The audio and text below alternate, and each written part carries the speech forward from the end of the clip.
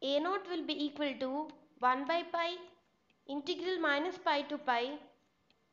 Given function is x square dx. Since this is even function this can be written as 2 by pi integral 0 to pi x square dx. That is equal to 2 by pi x square integration is x cube by 3 integration limits from 0 to pi.